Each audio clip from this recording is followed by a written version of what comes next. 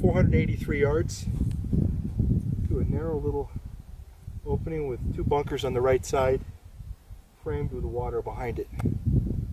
Looks like perhaps maybe the signature hole out here. Let's go check it out.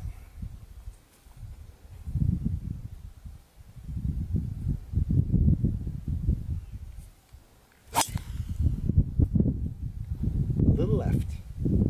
Let's go.